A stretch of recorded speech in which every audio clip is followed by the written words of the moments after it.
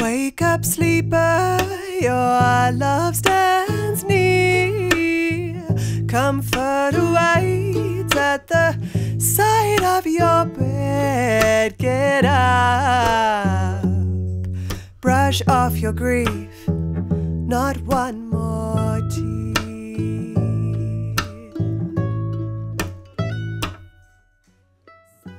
Hi, my name is Delia Olam and I am the writer, composer, and performer of Just Let the Wind Untie My Perfumed Hair or Who is Tahirih? And I'm Joanne Hartstone, and I'm the director, producer, and presenter of Just Let the Wind Untie My Perfumed Hair or Who is Tahirih.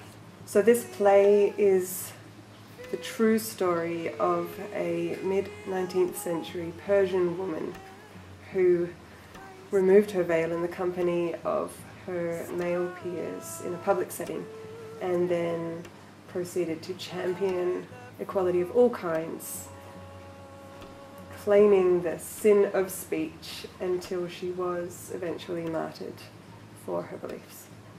Her lifetime predates any of the Western suffragette movements. Mm. So by the time she was executed, that was before even South Australia had become aware of the suffragette movement, Mm. of the right to vote for and equality for women. I- She really is a pioneer Yeah.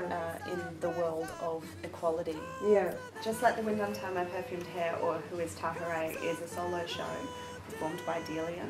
Uh, it's a series of monologues of different characters of the people around Tahirih in her life, and it's interwoven with Tahirih's original poetry set to original music performed and composed by Delia Olam.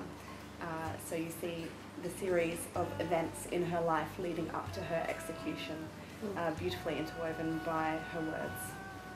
And those songs I have recorded and are um, in the process of becoming an album, which should be available after the shows in Edinburgh and um, be released later in the year as an album in their own right.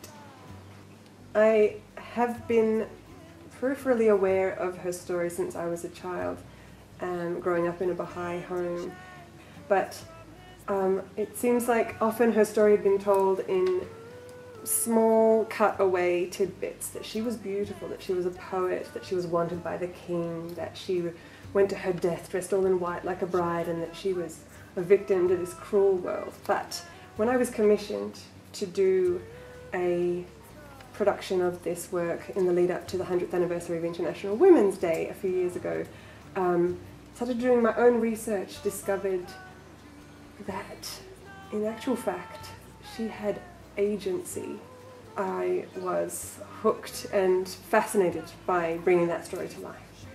And um, after doing a short storytelling version of the story, I got the opportunity through, especially through Honeypot um, at, at the Adelaide Fringe, to develop the work a little bit, um, especially the production values, the lighting, and the set. And for that opportunity, I got in touch with Geoff Cobham, who is a great lighting designer in South Australia.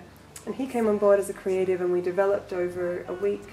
So I first saw Delia in the 2015 Adelaide Fringe, and I saw her small scale production. Um, I was really attracted to the story, but also very attracted to her voice as a South Australian artist. And so I contacted her, or she contacted me, and we decided that we would take a bit of a risk and we would develop the show for Edinburgh. So we put on a very small season at the Adelaide Fringe during uh, this year, during the 2016 Adelaide Fringe, and we performed it at the Queen's Theatre, which was really successful, a really beautiful show, and we've been just developing it and nuancing it over the past few months to be able to make it absolutely schmick for Edinburgh.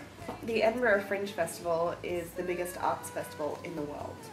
So we need to take it over so that we can truly get this work out on the global stage. But there's another reason why we feel it's right to take this show to Edinburgh, and that's because the UK is in political turmoil and Europe is in a state of unrest and Australia is in no man's land. And we do feel that this is a time of change.